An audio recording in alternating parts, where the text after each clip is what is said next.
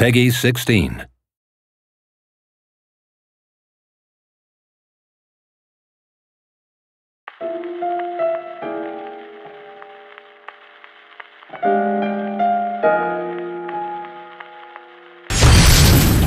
I am ready.